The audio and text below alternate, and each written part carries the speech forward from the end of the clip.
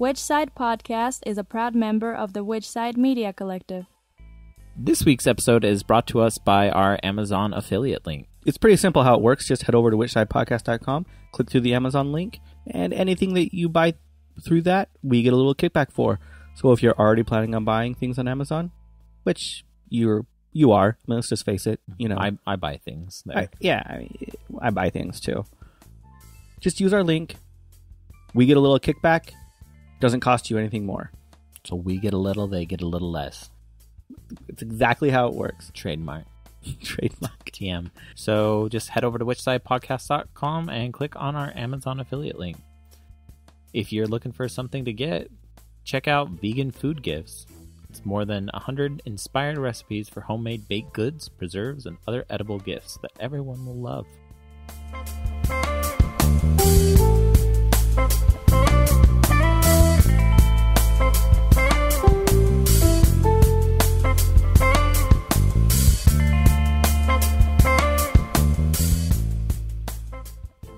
This is episode 144.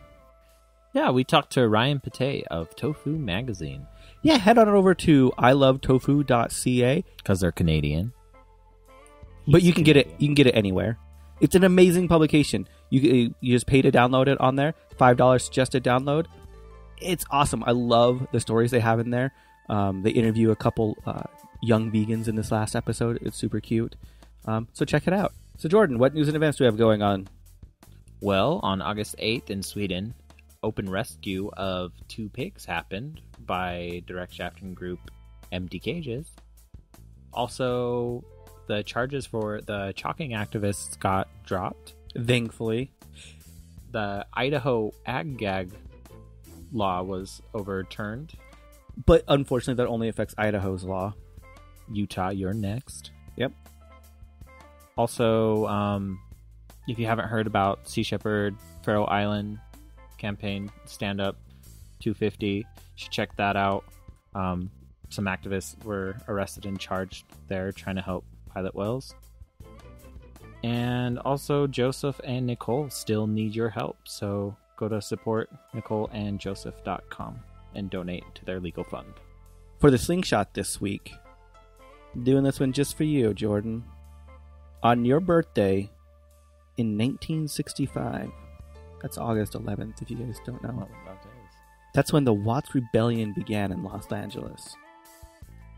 Damn right, they did it for my birthday. So happy birthday. They, they knew the future was happening, Yeah, right? no, obviously. Obviously. I mean, how, why else would they do it? That's also why the tornado happened on my birthday. That's a very inside, localized thing that no one's going to understand what you're talking about. There's only been like one tornado ever in Utah that happened on my birthday and it ruined it. you're still pissed at that tornado. I am. That was my birthday. Well, happy birthday. Thanks. If you like these little tidbits of history, we pull them out of the Slingshot Personal Organizer. Go pick one up yourself at a local info shop. Or if you don't have a local info shop, at an online info shop like AK Press.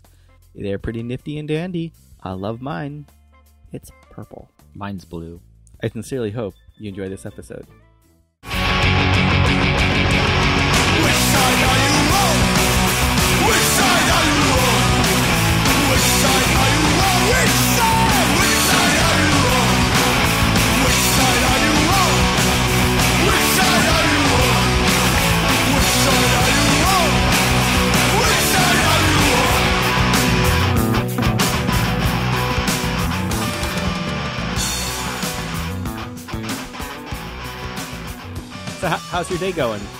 Not too bad. Are the levels okay on my end for you? Yeah, yeah, we're all good. Seems like it's good.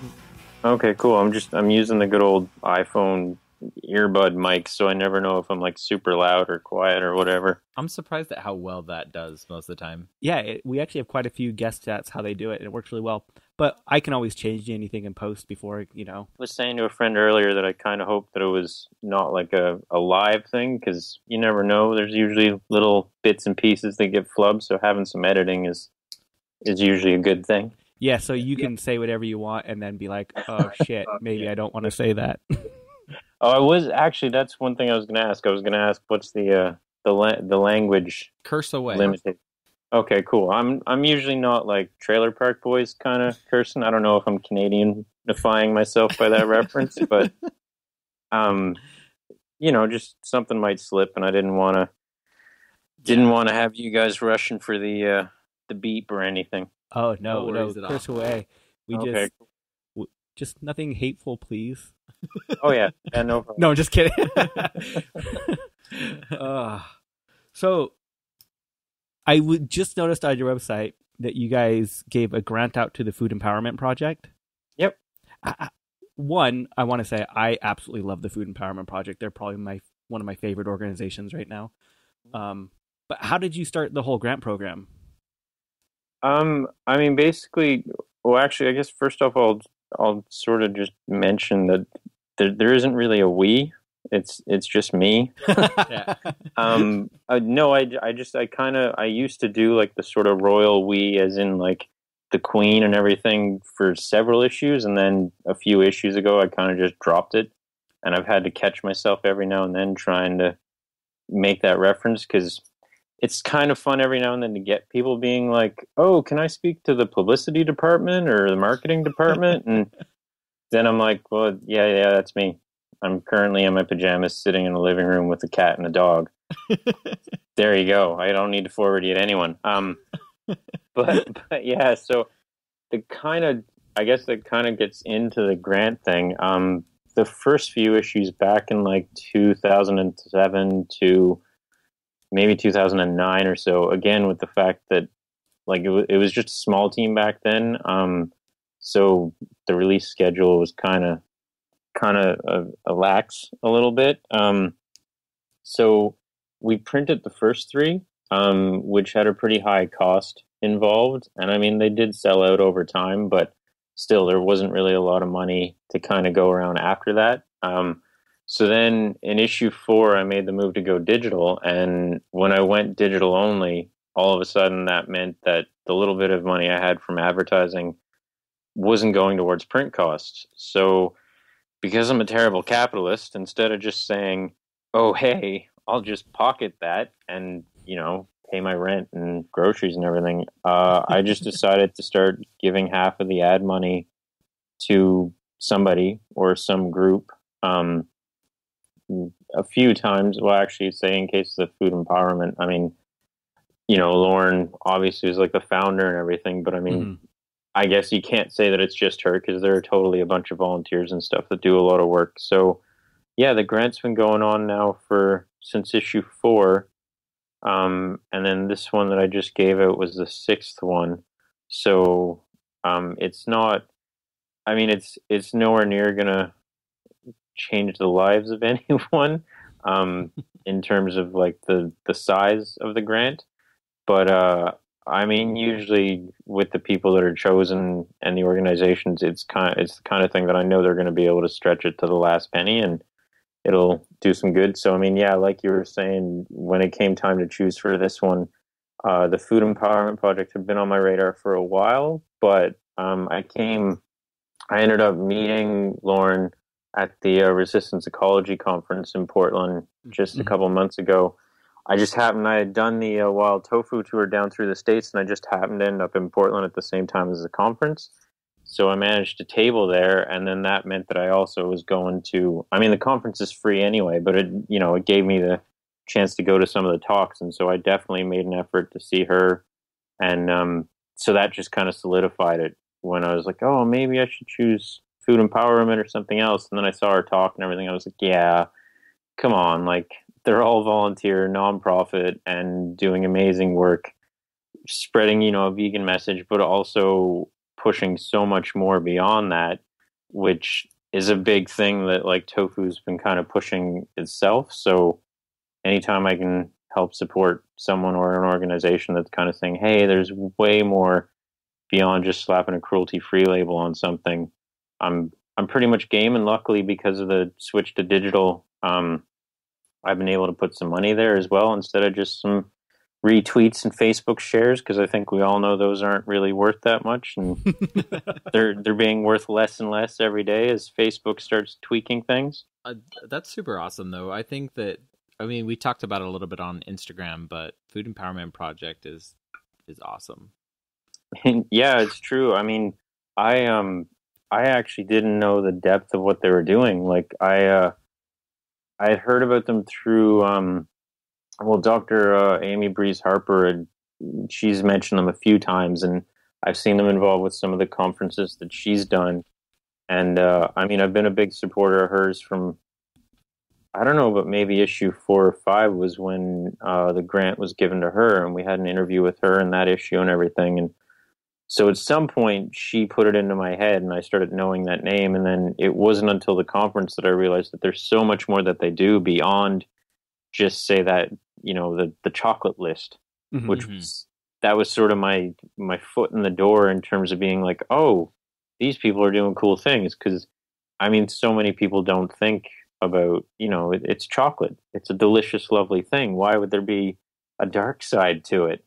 But I mean, really, if you dig underneath pretty much anything in this day and age, especially if it's tasty and you like it, there's usually you know some blood, sweat, and tears on the other end that really isn't so great. So, I mean, outside of that, like they've been you know pushing a lot of stuff about like immigrant farm workers' rights and doing school supply like not fundraising things but just drives to you know get people to donate those sorts of things so that kids who are in say a family that has farm workers and everything have school supplies which you know is sort of a branch of all this stuff about like figuring that's obviously the chances are the people that are working to pick the ingredients are not getting paid a hell of a lot. And then that, you know, that bleeds into the family's conditions and everything else. And then it all just snowballs because obviously, I mean, it's been proven time and time again how important education is. And if people don't have access to education or the supplies to be able to even, you know, learn to write and read and everything, then like, how's anyone going to get out of that cycle? Yeah, I, I just love the intersectionality like you're talking about what they're working on. Yeah, I know I'm I'm I've been totally in love with their work. I didn't know much about their work till we had her on the show and it's it they seem to focus just on the er- everything that I give a shit about and they're like one of the few organizations that I can say like yes, you know, I know if you give to them that money's actually going to go to something good. Yep. Yeah. Yeah, and I mean it's funny because I I sent them like one of the best parts of any issue is when I get to send that email out to someone and say, "Hey, uh, you're the recipient of the grant." And I mean, it's not like it's not an application process. It's not this voting thing or anything like that. Like I've debated opening it up to that, but I right now I'm still.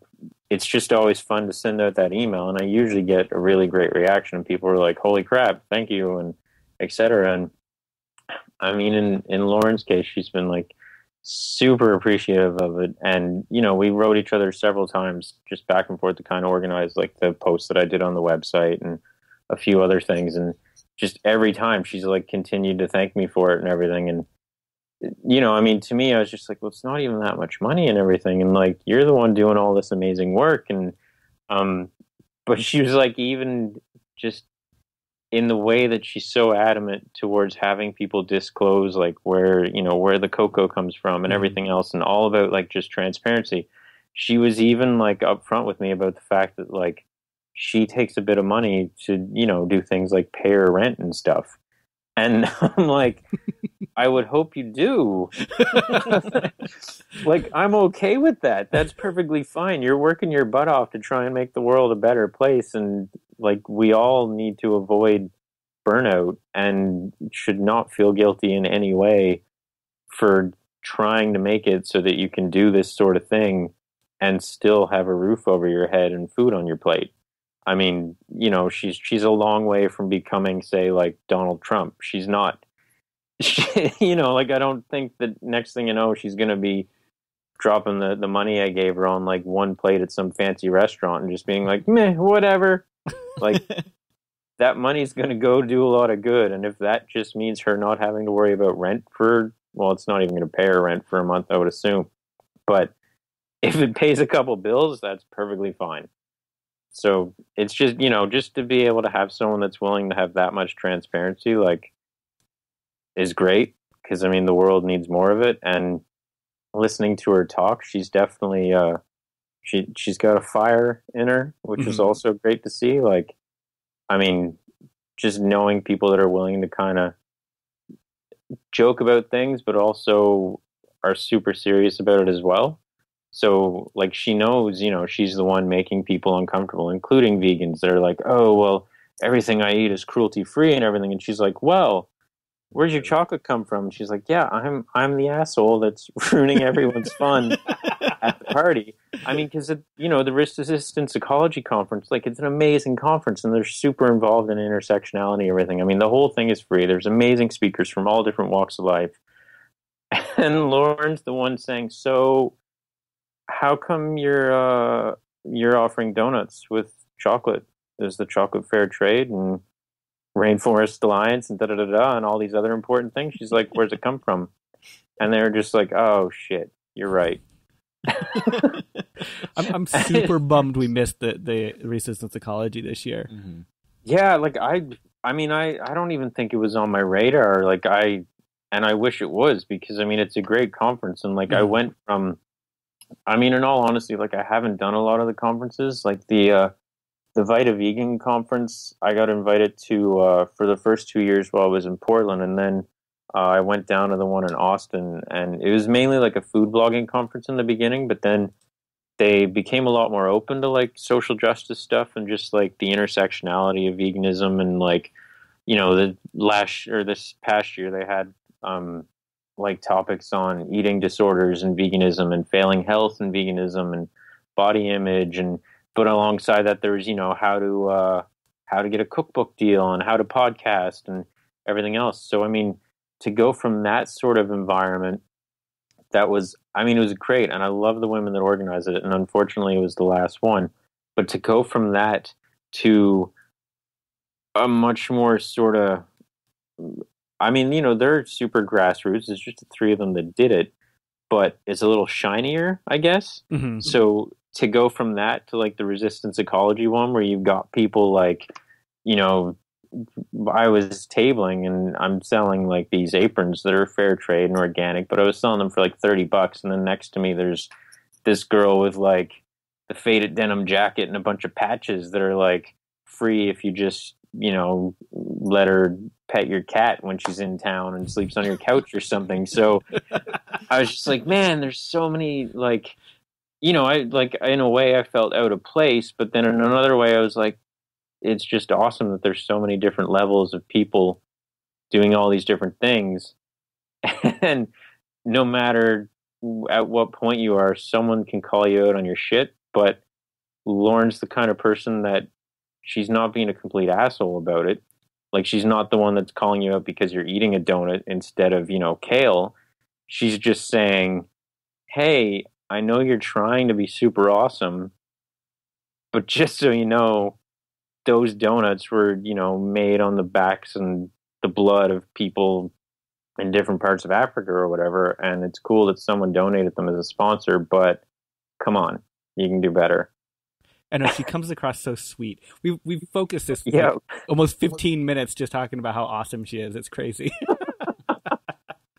I think, have, have we hit 15 minutes yet? Or, yeah, fif- 15. yeah, about. pretty close to that. Yeah. but you've brought up a bunch of stuff that I've actually I wanted to talk to you about, and one of them is like you do this completely by yourself, and like we do this by ourselves, and we really put ourselves out there. But I have an amazingly hard time like with self promotion, like Mhm. actually throwing myself out there. And you know, like we get the thousands of, of listeners every single month, and and that's all fine. But I have a hard time like pushing it to try to grow it more. Like, how do you do that yourself? um, in a day like today, I'm wondering if I even do do it. Um, No, like I, uh, well, I just I just arrived in Portland in Oregon a few days ago to house sit for a, a friend's family, and so when I finished the tour that I did, um, the the aprons that I mentioned actually I left them here because I didn't want to go over the border with a bunch of aprons. Um, because I just figured I'd be asked a bunch of questions, and then customs would probably charge me something for importing goods. Mhm. Um, and I had already had like a miserable time getting into the states uh, on the other end of the country. So because I was here, I was like, okay, fine. I'm just going to try and get rid of a bunch of the aprons. So I'll just put them on sale. And so today, like I got up in the morning, I had all the graphics made for like Facebook and Instagram and da da da da. And I posted all, and I haven't sold an apron. I barely got any likes, and it even involves like the cute a cute dog. Like, how can you put something on the internet with a cute animal and not, you know, end up? What have I got to do? Have it be like a top ten list? Is that the only the only way? Um, but I mean, yeah, like it's it's a tough battle. I uh, I actually felt a little better when I went to this conference down in Austin because a lot of people were cursing out Facebook and Mhm. saying that you know they've seen their their reach just drop astronomically in the past say six months to a year. And I um uh before last September, I was actually like a copywriter for a web and marketing company. So as much as as much as I hated marketing and all of that, I actually was pretty good at it. Um, and like I ran some social media for some clients and did taglines and ad copy and all that stuff. And uh, that was like four years of my life. And I worked with another agency before that. And so it's sort of been something that I dabbled in, but it, like last September when I quit my job and decided to just finally push tofu full time, um, that was when I started feeling okay to be doing this sort of stuff. Um, unfortunately, it seems like Facebook has been tweaking things ever since then, and it's just been like going downhill more and more. Um, and you know, Twitter's on the way to it, and a lot of people love Instagram, but as of like a couple days ago, they're opening up uh, to make advertising a lot easier. So you're going to see a lot of more of that stuff, and then people are probably going to start moving away from that platform because I don't want to see a McDonald's ad in the middle of my Instagram feed of what everybody's eating while I'm hungry. Like that's not what I want to see, and that's what was great about Instagram. But that's going to start happening because you know people got to make money, and yeah, I mean, for me, in terms of like doing the promotions and stuff, I guess I I don't feel super bad about it because I kind of like to think that you know it's it's for like a greater good or whatever. Mhm. Um, not to belittle the greater good, I just don't kind of like that term per se. um, yeah, whatever, changing the world, blah blah blah. Um, it's it's not it's not that like it's not that I want to say that's not important. It's just I, I don't know. I, I have issues with people sometimes. Like if I see "Be the change you want to see in the world" on on someone's beach picture on Facebook again, I'm I don't know. Maybe I'll quit Facebook. But it's just there's a there's plenty of other ways to to say things, I guess, and so I think maybe I don't quite feel I figured out how to catch everyone's attention. So like to have somebody say to me, "Oh, hey, how do you how is it that you're so effective on social media and everything?" I'm I guess maybe I'm not sure because I don't feel like I am. Like in the same way that like when I've been on panels and stuff at conferences and people are like, "Oh, what's your secret? Like how did tofu get where it is and everything?" And to me, it's just what I've been doing. Like I just decided to start a magazine and I just kept putting it out and luckily some people liked it and the magazines disappeared and I don't have boxes of them. But I mean right now I got a box of aprons that no one seems to be buying. So you know, it's it's like I I guess like I don't feel like it's as easy as I think other people have it, but I'm also kind of aware of the fact that no one actually has it that easy. Like everyone has their own kind of obstacles and they all go and post on social media and they end up being like, why is this not working? Like, why am I talking to crickets? Because actually, Lauren even said that in an email to me this morning. She posted through social media about how they got the grant and everything. And, you know, I said, oh, yeah, that's cool. Like, and I'll post about it later and everything. And she was like, yeah, because lately I feel like we're just talking to crickets. Mhm. And so it's funny because you know, like I'm I'm guessing maybe that's how you found out about it because like I haven't really posted about it and you know, so there are people that see it, but maybe because it's such a weird medium where like if you don't get that feedback from people, you just kind of feel like you're putting it out there and it's just going out to nobody. Whereas if you're having that immediate conversation with someone face to face at least say 10 years ago it felt like they were listening. Now it just looks like they're sitting there on instagram while you're talking to them. Which is funny because you know apparently i feel like no one's listening to you on social media either. So i um i actually read this great interview with uh, Ian MacKaye earlier today. And i mean you know the guy always has a million things to say but he just had this in sort of his typical sort of old punk guy crusty fashion he was sort of like not anti social media but he was kind of just like what is the big deal like why is everyone so into this and you know i'd much rather have that person to person interaction and like step outside of it and get out there in the real world and he was also talking about how people were like oh well what about your legacy and like you know all the bands that you did and how you changed things and everything he's like I never set out to do that. Like I don't see myself as doing that. Like I just get up in the morning and this is the day that I'm living and you know, tomorrow's going to be another day and I'm going to do different things and whether or not people like those different things, fuck them. Like he just wants to put out an album. You know, so yeah, I just yeah. decided to put out a magazine. And as much as you know, I am kind of obsessed with like I would like to see a hundred likes and have people share it and everything on another end, I guess I've kind of realized that it's not going to stop me from doing it because mm-hmm. I probably should have stopped years ago. But you know, like I, in the same way with you guys, right? Like you're not making millions of dollars off of this podcast, but you still do it for no, some reason. No, we are. We're making. I mean, oh, okay. Just, just well, shy. I mean, we're just shy of it. Yeah. So in obviously, debt. should I give you my address for the check in the mail, or? I mean, no, wait, I don't need money. I'm not doing it for the money. I don't need to pay rent or buy food. no, it, it's crazy because you're right. It's so weird of what people pick up on social media too. Like, we'll do all these posts and try to have all this interaction, and then the random weird post all of a sudden gets huge traction everywhere. And you're like, really, that one? Like, yeah, I think like I posted about like medical care for a, a prisoner, and that just blew up which mm-hmm. is great. I totally want people to focus on that. Um, but it's just weird to see which posts blow up compared to mm-hmm. to others. Yep.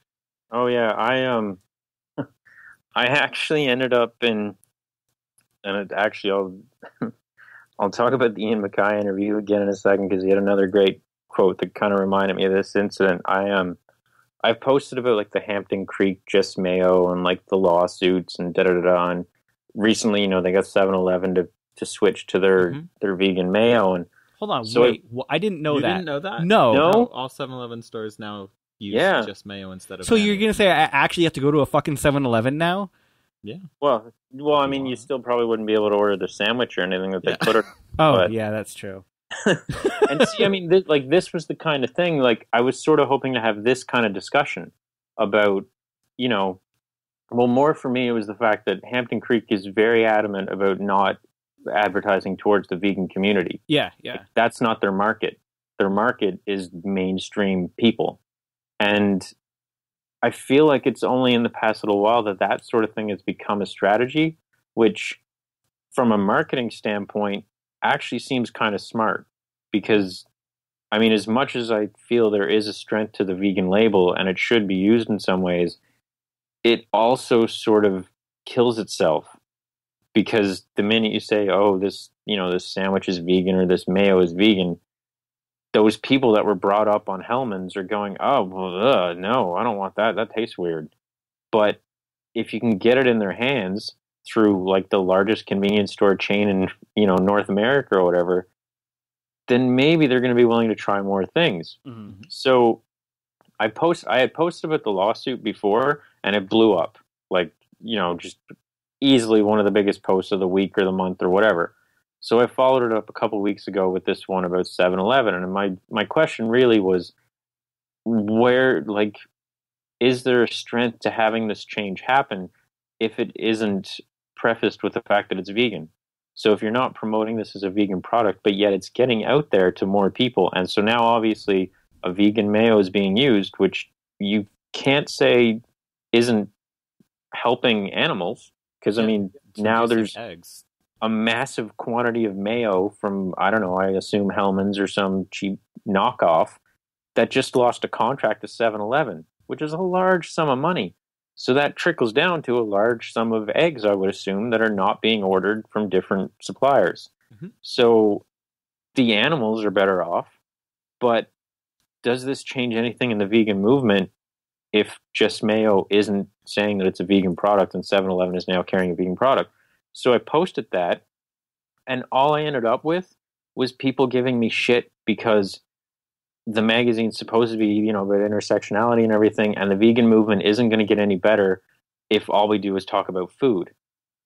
And so I got in this big debate with this person, and I was like, look, have you looked at the past posts I did about, say, you know, 100 black uh, vegan bloggers that people should know, which went nowhere? Like, it, I mean, it, it did okay, but like it didn't get that much attention. I was like, That's uh, the the one re- Sister Vegan did, right? yeah, uh, actually, no, I don't think I don't think it was her. I think it was someone on Tumblr. Yeah, I really they- liked it. I saw it. I saw it, but I thought I saw it posted by Sister Vegan. Yeah. Yeah, I mean, it might like it did get some shares and everything, right? And rightfully so. And like that's the kind of thing that I would love to see people talk about. But because of the way Facebook works, and because of the fact that really the majority of people just want to talk about happy, fluffy stuff. I mean, chances are they're on Facebook in the middle of the day because they're at work and they want a distraction. So instead of, you know, reposting this awesome list of people that should be represented in the vegan community and talked about and reblogged and everything, people were attracted to this 7-Eleven mayo thing.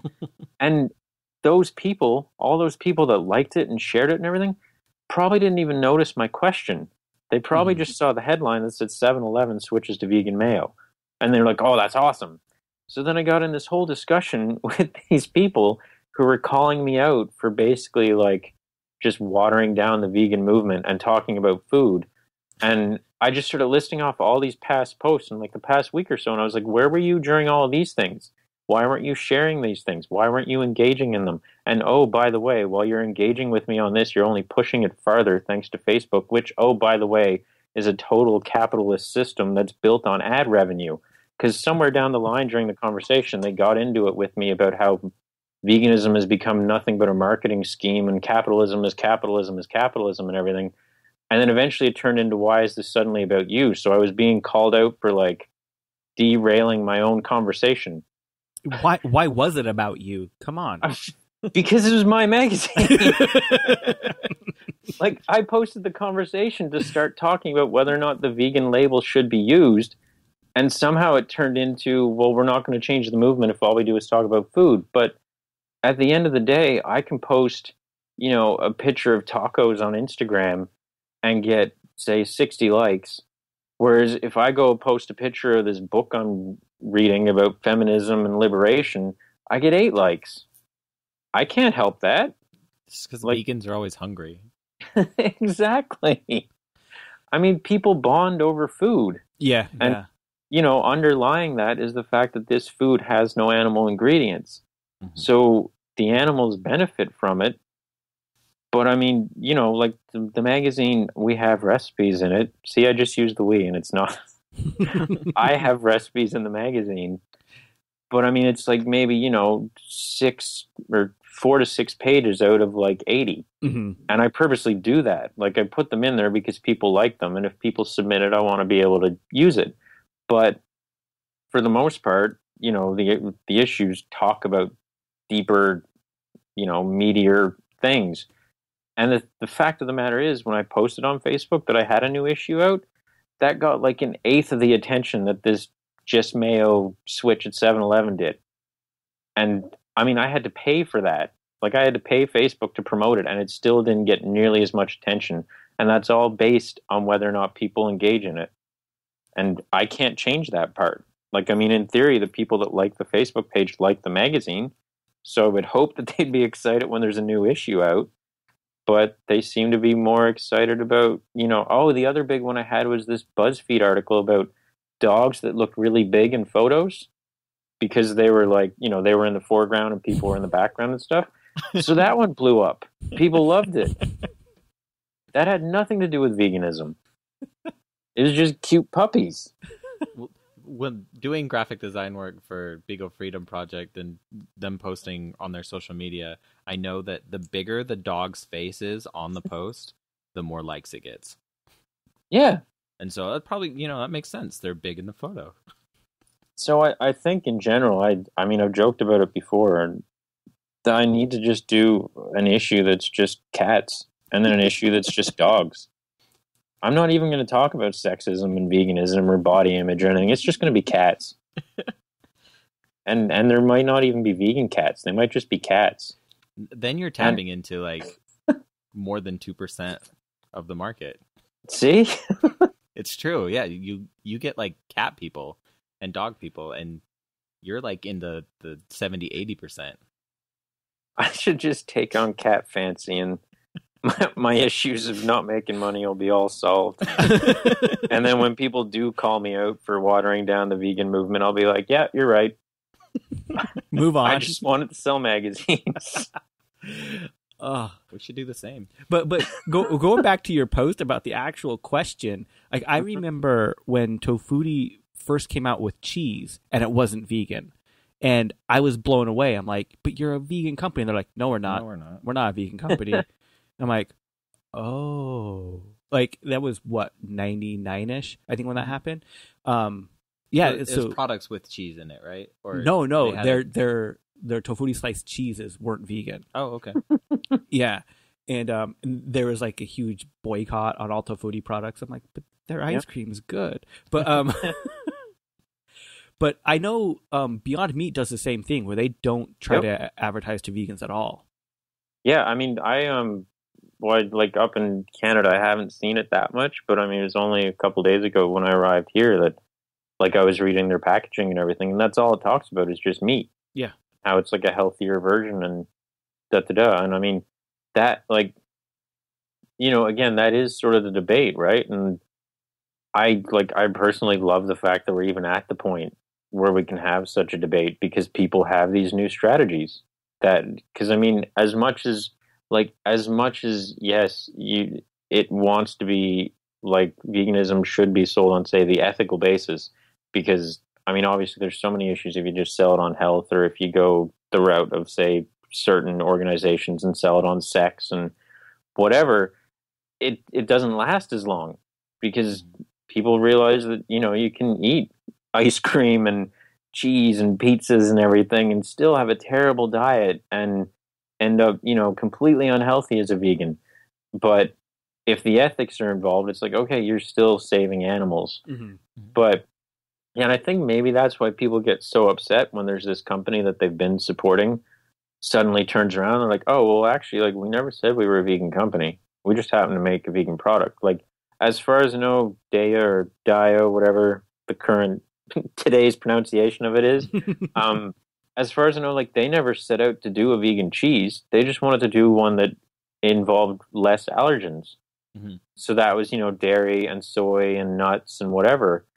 And that's what they did. And then it just kind of blew up at, you know, like the the food expos and stuff that they were going to.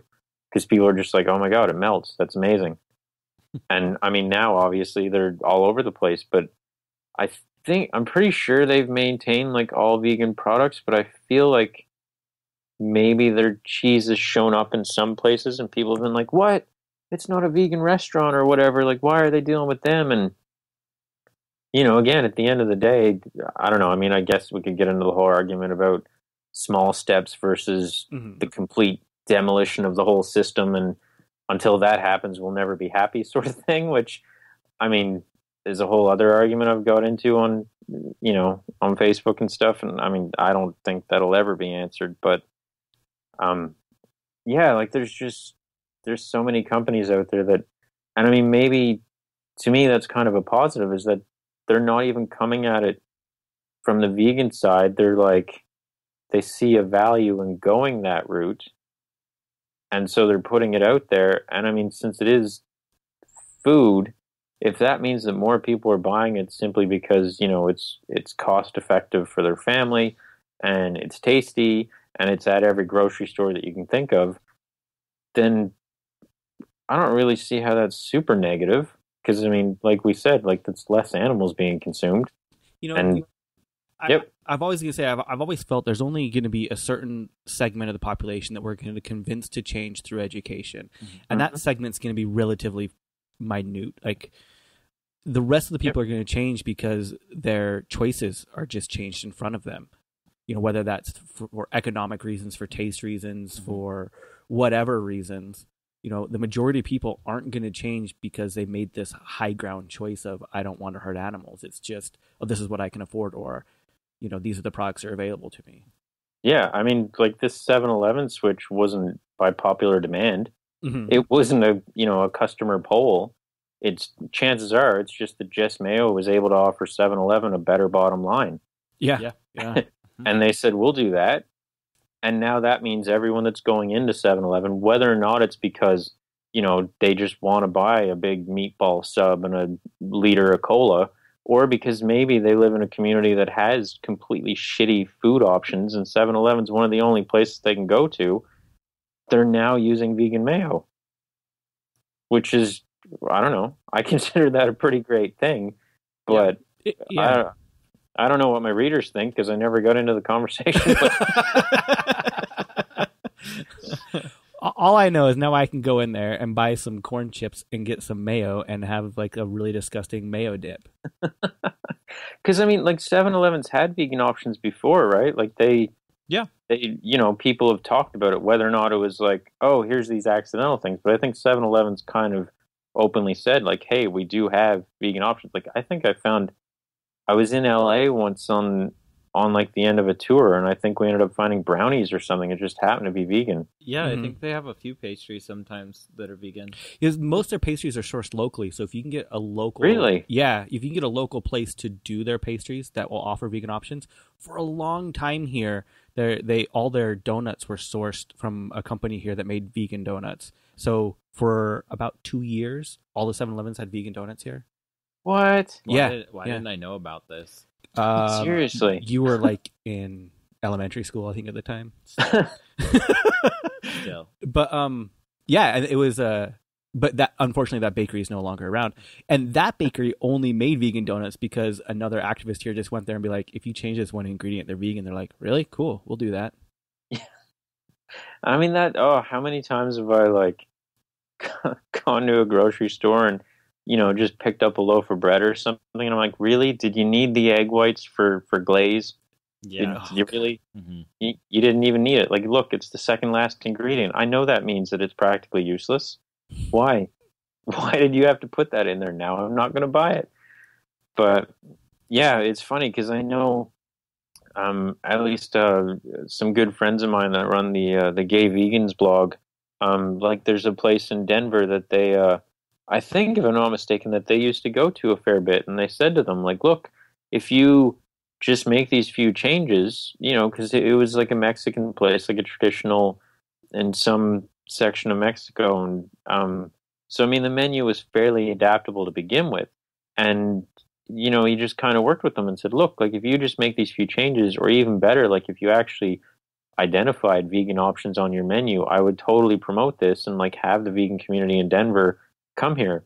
And I've been there two or three times now. Like it's one of my favorite spots to go in Denver. And the last time I went, like they had just reprinted these new menus and they had all these like the vegan se- section was there and everything was marked as like vegetarian or vegan option if you ask and everything. And I mean the food's phenomenal and they didn't really make much of a change. Mhm. And it's the same, you know, like even just if you were like, oh well, hey, if you just brought in some Daiya cheese, which is now available in like big commercial bags and Mhm. whatever, then look like your your pizza crust is already vegan. So all you got to do is offer that one option, charge a couple dollars extra, and I'll get a bunch of my friends to come down. And suddenly there's this whole other market that opens up.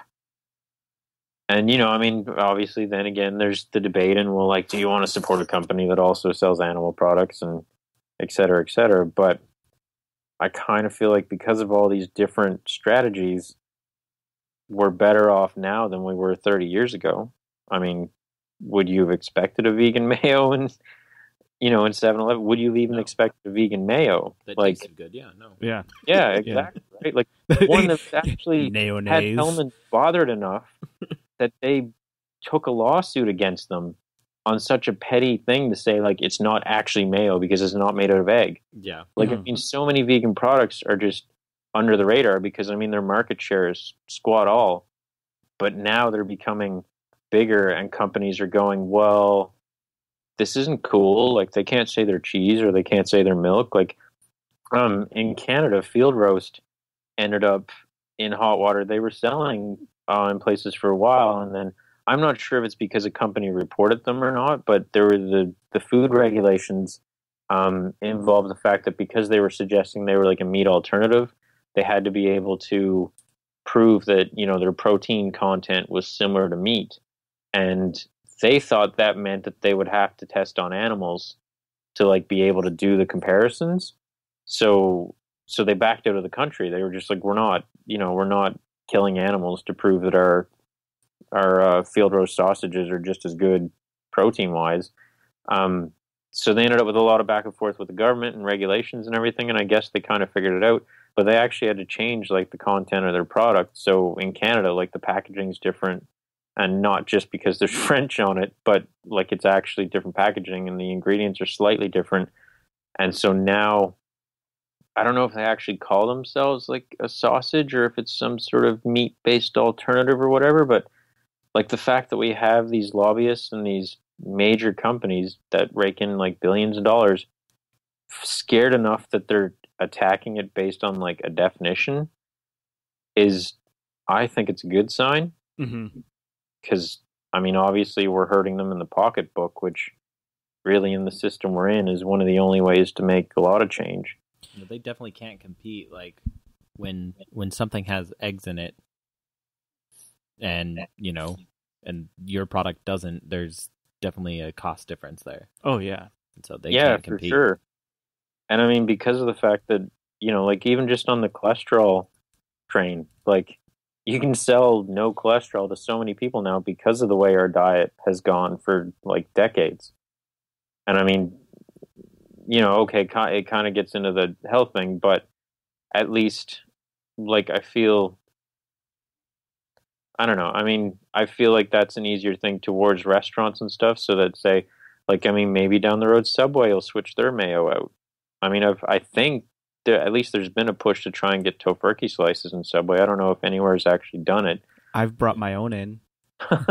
nice. Uh, they've they're coming out with um three different vegan options um in a lot of markets I know they've been piloting them. Yeah. so there's Okay. that they probably will make their own or outsource like they did with the morningstar veggie patties that aren't vegan Yeah, because I mean, I kind of feel like some of those people that get on the whole bandwagon of saying like, "Oh, well, you shouldn't be supporting these companies because they sell meat products and everything."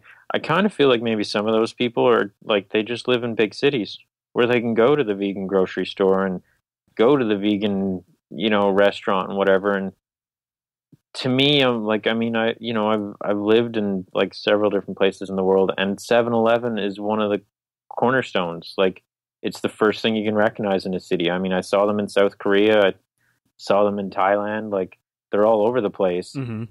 And if that sort of company picked up, you know, had vegan options and stuff, I mean, even Starbucks say like, I think there's a few things that they offer. So knowing that if you're traveling and if you're in some part of the world where you know there's going to be a Starbucks because they're everywhere, there's something that you can eat, which is a great thing. And it, you know, it also helps if you're traveling with other people. You can be like, look, this whole vegan thing really isn't that difficult.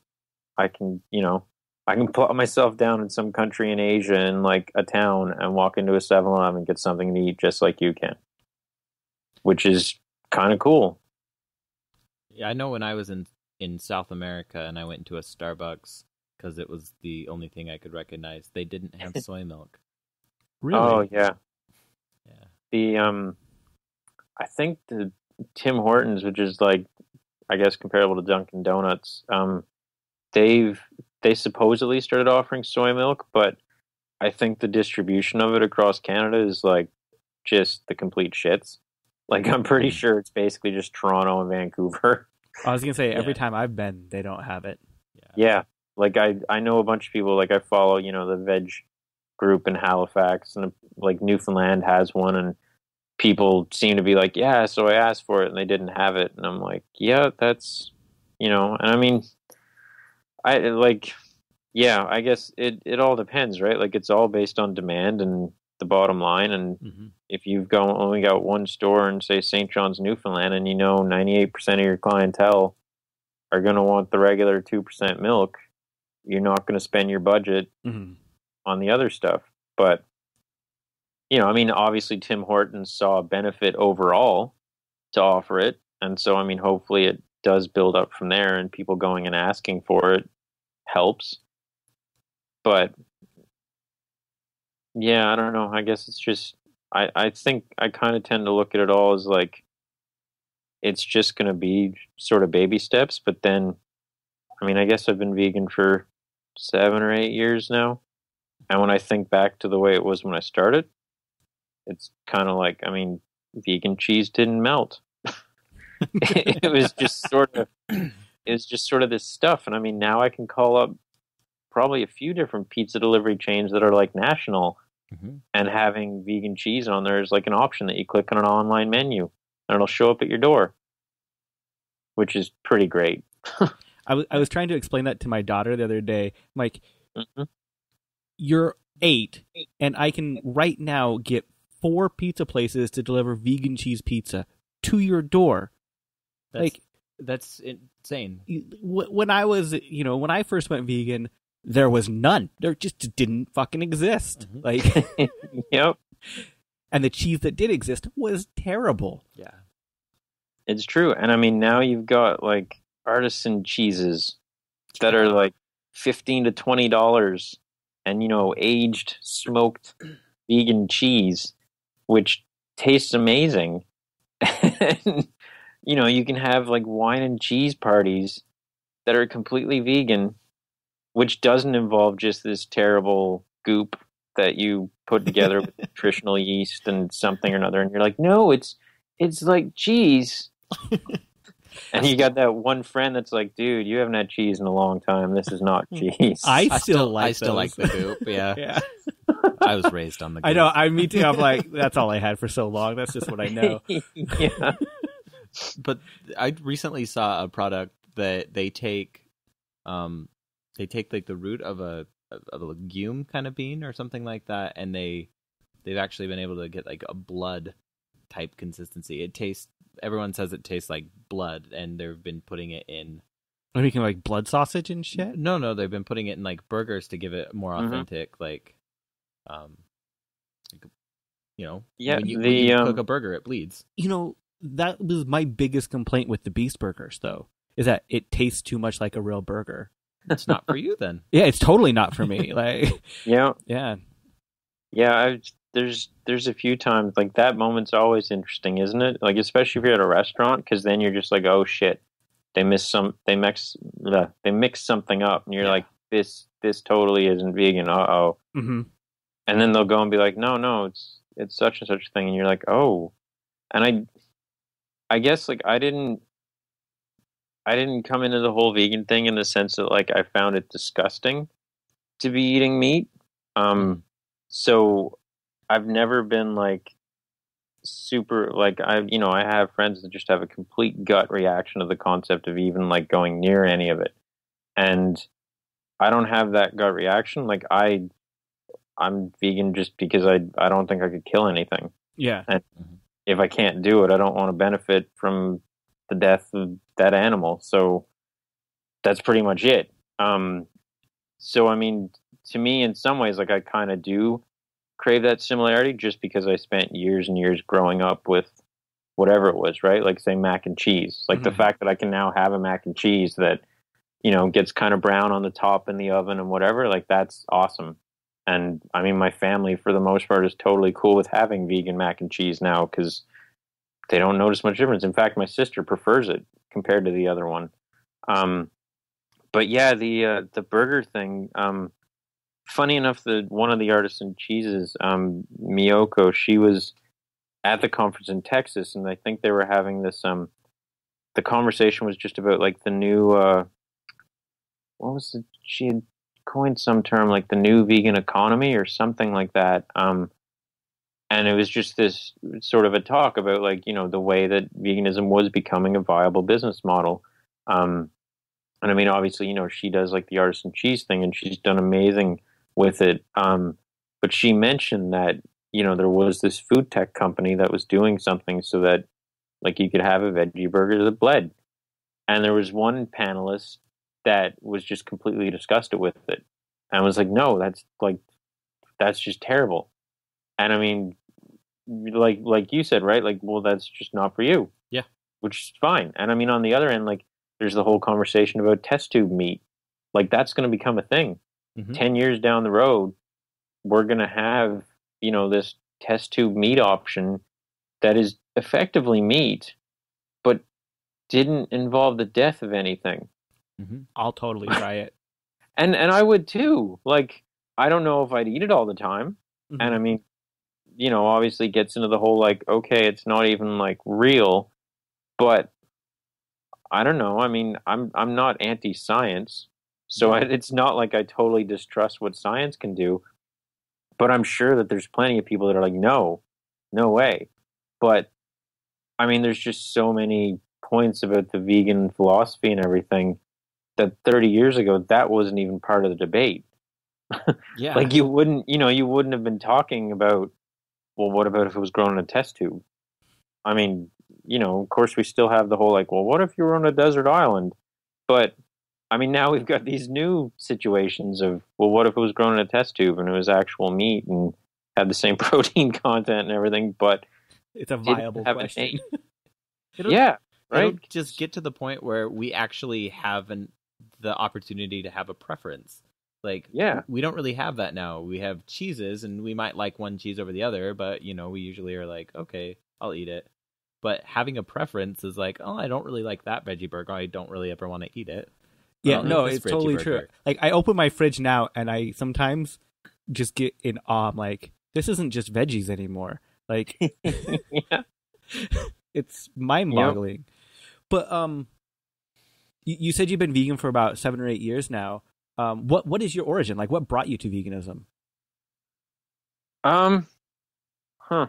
uh, I was gonna say first off, that, like I I don't actually know how long it's been. Um, I was quoting six or seven years a while ago, so I think it's been a year since that time. um, I get that. like I, I don't have my vegan anniversary or whatever because Mhm. Yeah. it wasn't.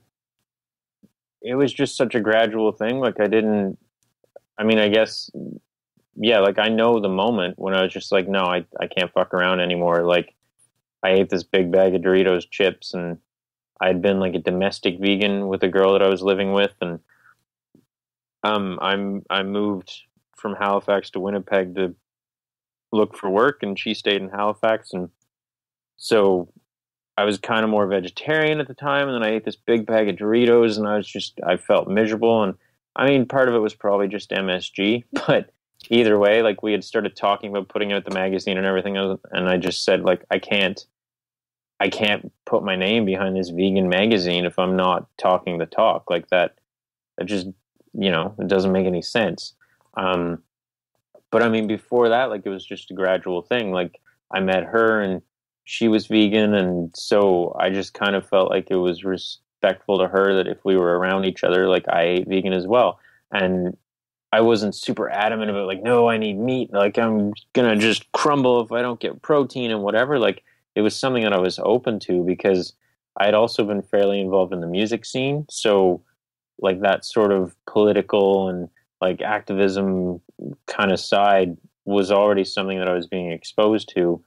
So veganism wasn't like this super foreign, what do you mean you just eat plants? It was like I knew musicians and everything that were like that. So it all kind of came into play and then you know we moved in together and when i moved in i brought in like a can of tuna and maybe a couple other things and when that can of tuna went then i didn't buy any more tuna and you know if we went out to a show and it was three o'clock in the morning and you know we were walking home and me and the guys in the band or whatever were like oh we need to get pizza then i got the veggie slice of pizza um, but I mean, she did most of the cooking, so I ate mainly vegan then. And yeah, eventually we uh, we did two cookbooks uh, in Halifax, just a small run to try and raise money for uh, an outdoor festival that I was doing.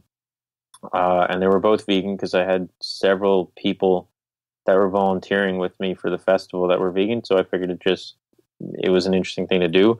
Uh, they went really well. Um, so then we just kind of were like, well, we might as well keep doing things. Uh, she did a dining guide to Halifax for vegans. And then when we started talking about what to do next, it's similar to what I was saying before, right? Like you just kind of keep doing things. Mm-hmm. And it's not, you know, there wasn't like focus groups and these in depth marketing strategies of like, well, what will work? It was just, well, we did a couple cookbooks, you did a dining guide, so what can we do next? A, a magazine seems kind of neat. And I can't remember if maybe at that time Herbivore had just stopped putting out a magazine. Um, but they were definitely still an influence. Like she was reading Herbivore magazine uh, during our relationship and everything. So I think it may have only been recently that they put out their last issue or whatever. Um, so we were just really influenced by them, and we just it seemed like a logical thing to do. Uh, even though starting a magazine is just completely ridiculous. Um, yeah, and I, I think by then maybe we had at least learned not to do everything in Microsoft Word. So that made it a little easier, and our print guy was a lot happier. Um, but yeah, so it all kind of just went hand in hand. Like there were just a bunch of different influences that kind of led to me going, you need to be vegan if you're going to keep doing the things you're doing and you enjoy these things and you agree with the ideas of them. And then, yeah, I had, um, like growing up, I had gone on, you know, like rabbit hunting trips and moose hunting trips and everything. And I spent the whole time just being like, please don't get anything. Please don't get anything. And when I all kind of put that in my head and mulled it over, I was like, you don't, like, you can't handle the idea of something dying. So why are you eating dead things? And, and that was sort of it. And all of a sudden now that's seven or eight years ago. it wasn't because of the cheese. I think we established that. I definitely wasn't won over by the cheese in the beginning. I, I don't think anyone's won over by that. Maybe nowadays, I don't know, but Yeah. yeah.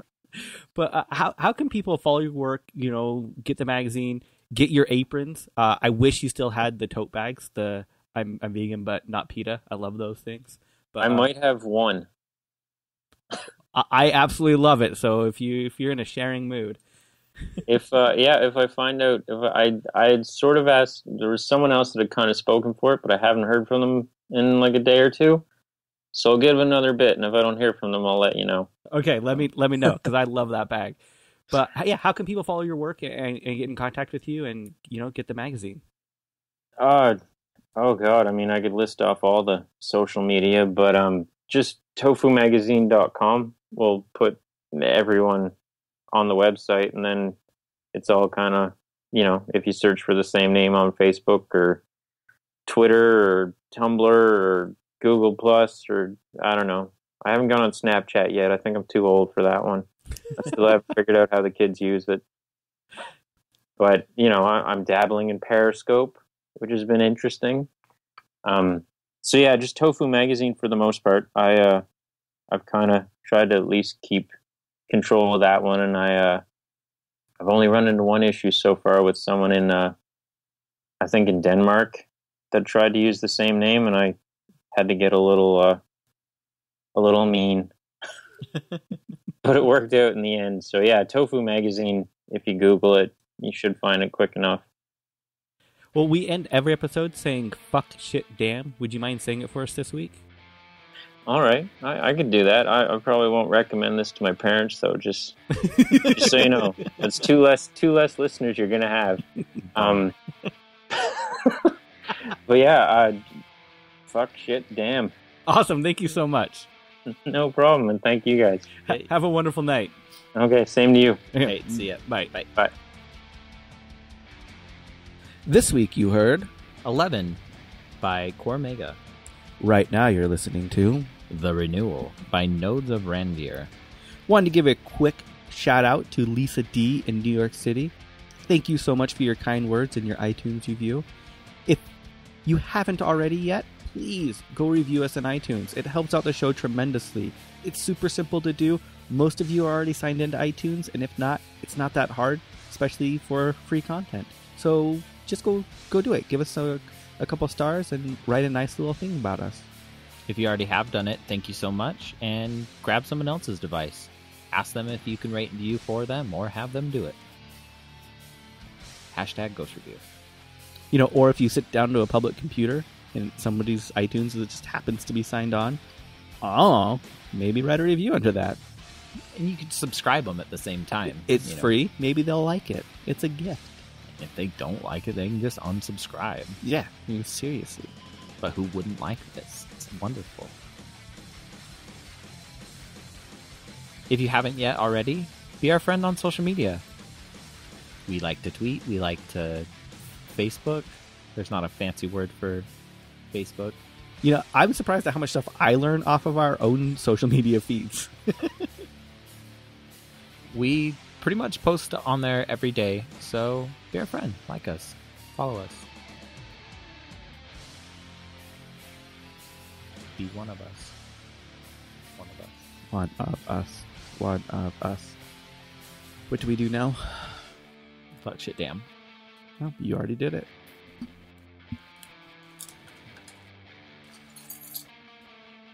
Get out of my house. Whichside Podcast is hosted and produced by Jordan Halliday and Jeremy Parkin of the Whichside Media Collective, with web design by Jordan Halliday and sound design by Jeremy Parkin. Booking by Mari Halliday. Theme music by Commandantes. Go to whichsidecollective.org to check out the other shows in the collective. As always, fuck shit damn.